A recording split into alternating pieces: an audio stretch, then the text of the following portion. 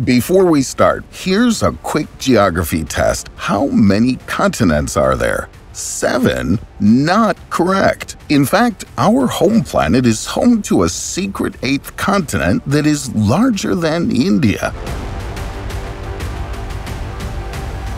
However, since the huge continent was long since swallowed up by the sea, it does not appear on our modern world maps. What the background of this mysterious area is all about and which puzzles still need to be solved in this regard, we will now show you.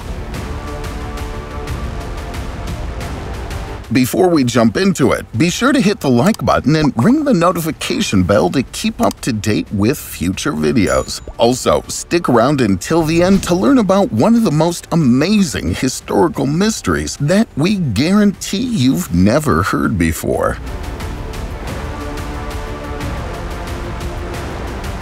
The History of the Continents North America, South America, Europe, Africa, Asia, Australia, and Antarctica. Anyone who's paid even a little bit of attention in class will know that these are the seven official continents of our planet. If you take a closer look at the world map, you'll see that the shapes of the individual landmasses fit together almost perfectly, just like oversized pieces of a jigsaw puzzle. As most of you probably already know, this is by no means a coincidence. If we put the pieces together correctly, we get the supercontinent Pangaea. This existed around 250 million years ago and united all the Earth masses on our globe that were surrounded by a single ocean. About 50 million years later, a process began that split Pangaea in two Gondwana to the south and Laurasia to the north. While the two large continents broke up into smaller pieces over the course of thousands of years, today's continents gradually formed. In the same breath, the continents drifted further and further apart, separated from newly formed seas such as the Atlantic. We find the reason for these elemental land migrations in the Earth's interior, more precisely in the boiling hot currents of the outer Earth's shell. These ensure that the engine that keeps the continents and oceans in suspense never falters. As the plates move across the globe at a slow pace, some of them soften or break and elsewhere collisions occur. As is well known, we find the most diverse natural structures on the individual continents, from mighty mountains and dense forests to endless deserts, canyons, and plains. The different land masses impressively show us the beauty of our planet, and the mysterious underwater world of Zealandia is no exception exception, with the huge difference that very few of its elevations protrude from the water, yet they are still visible. In fact, this includes the two main islands of New Zealand as well as New Caledonia further north, which flies the French flag. One reason the sunken island is being literally resurrected is that Zealandia is rich in raw materials. Here we find, for example, iron ore, oil, and gas deposits.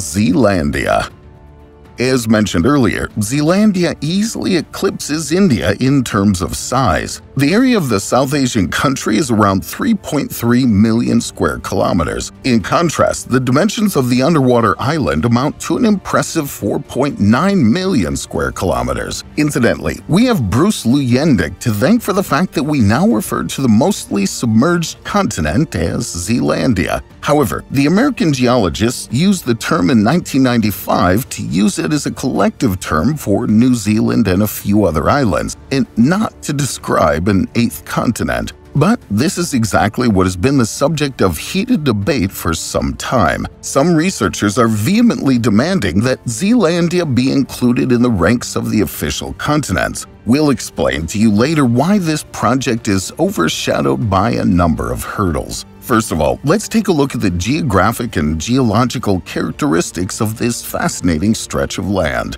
In fact, around 94% of Zealandia lies below the water's surface, more precisely in the southwestern Pacific.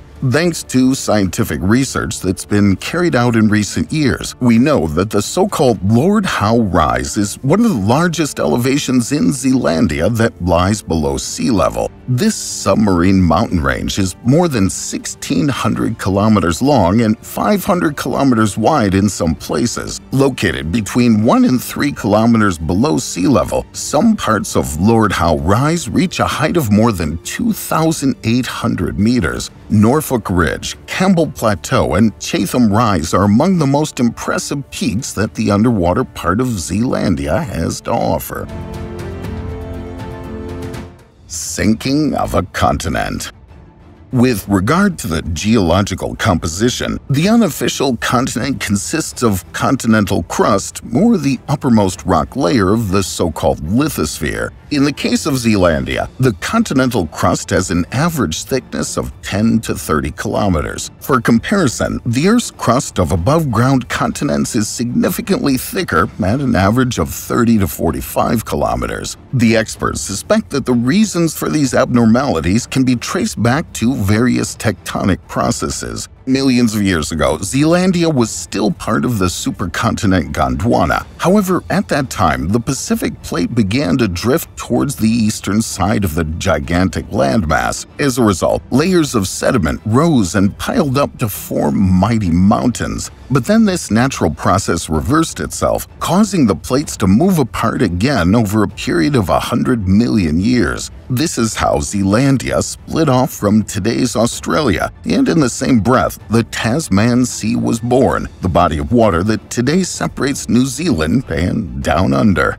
As the Tasman seafloor rose steadily, so did Zealandia's fate. What was once a landmass was swallowed up by the expanding arm of the sea. However, the sunken continent celebrated at least a small comeback a few million years later. The Pacific Plate collided with the Australian Plate, so that New Zealand and its mountains pressed to the surface.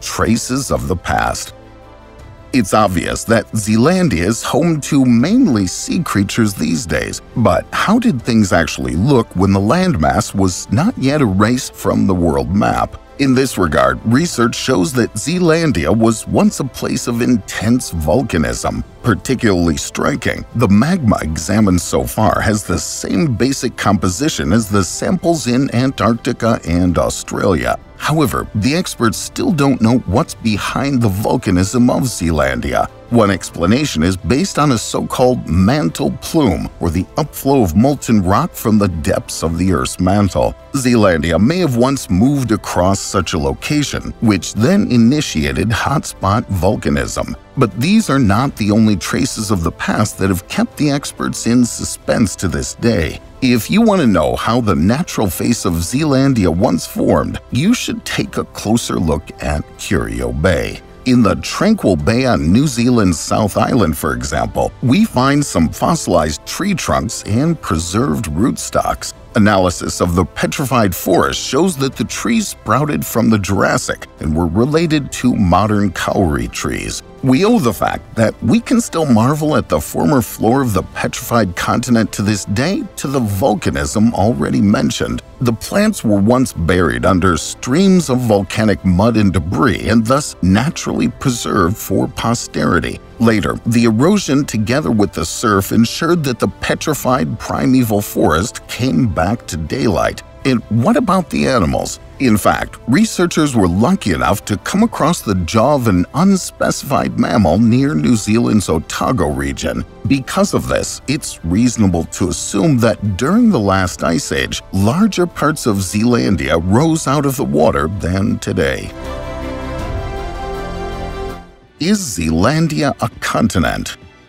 In view of Zealandia's literally turbulent past, a central question arises. Does it make sense to recognize the largely submerged area as an eighth continent? It's precisely this question that the scientific minds cannot seem to agree on. In detail, there are different criteria that a region of the Earth must meet in order to be considered a continent. Above all, this includes the fact that the continental crust must stand out sufficiently from the oceanic crust. At the same time, the continental crust must be thicker than the oceanic crust. But the natural condition of the region in question is also an important aspect. According to this, a continent must have geological diversity and be home to three basic basic types of rock. Last but not least, the definition of a continent is always a question of size. The corresponding landmass must therefore have a very large area of land in order to not be classified as a microcontinent. How exactly this magnitude is quantified, however, is not determined even in the ranks of scientists.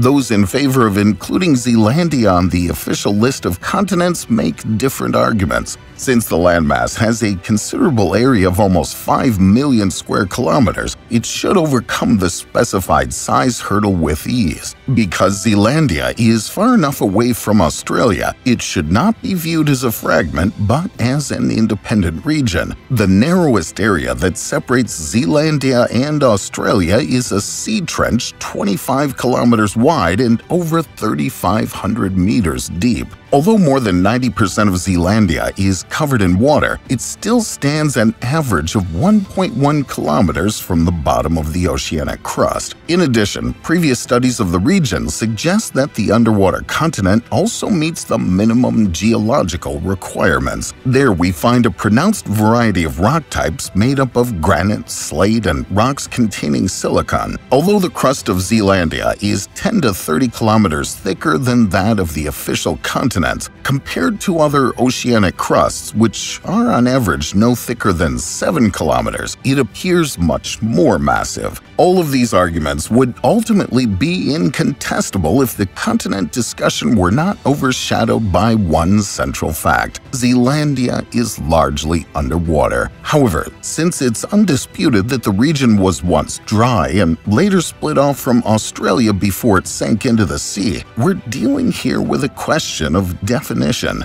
Does a landmass lose its status as a continent if it literally disappears from the surface, or should it continue to be viewed as a continent even after it's given way to the rising oceans? Even if we don't have an answer for this today, one thing is for sure scientific minds will continue to debate this issue for many years to come. Truthfully, I think we can all most likely agree that Zealandia will not be added to the map any day soon. While the continent may technically exist, the fact that it's hidden underwater seems to secure its fate in terms of its appearing on modern maps. Since the landmass cannot be fully explored and is certainly uninhabitable, there would be no real reason to add it to our maps other than for the simple amusement of it. But who knows? As time passes by, there's a good chance that the continent may eventually show itself once again and emerge from its watery grave. Unfortunately, it remains to be seen whether or not Zealandia will ever be considered a continent. For all intents and purposes, it seems quite unlikely that this buried island will ever resurface. However, greater things have certainly been accomplished. Since the island has been buried under a watery grave for thousands of years, there's certainly reason to believe that it may be resurfaced by scientific experts at some point so that they can conduct a deeper analysis on the island and try to better understand the plants and animals that once lived there. If this is true and the island is excavated at some point, the endeavor would first involve removing all of the water from the top of the continent, bringing this long forgotten island to the surface after countless years. Unfortunately, it does seem increasingly unlikely that this will ever be done. After all, the costs associated with such an endeavor would surely be prohibitive. Regardless, most geologists are simply happy to see that the landmass hasn't completely been forgotten over the years years, and most historians are still hopeful that dive teams will be able to conduct further research in the future so that we can better understand our world's history and the many details that led to it being buried underwater in the first place. As we all know, our world map has remained unchanged for hundreds of years. While islands are known to come and go all the time, we've not added or removed a continent from our modern maps for a very long time. Because of this, it can be an understanding understandably difficult task for researchers, historians, and geographers to come to terms with adding a new continent to our map. To make matters worse, there isn't necessarily one agreed upon method of defining a new continent, as we've never had to do it at any point in human history. We have a general guide of what classifies as a continent, but since we've never been tasked with this issue before, we really don't know how to proceed. What do you think of the fascinating underwater continent in the southwestern Pacific? Should we recognize Zealandia as the eighth continent or leave our world map untouched? We're looking forward to your comments. If you enjoyed today's video, please give us a thumbs up. Also, be sure to stick around and hit that notification bell to stay up to date with all of our future uploads.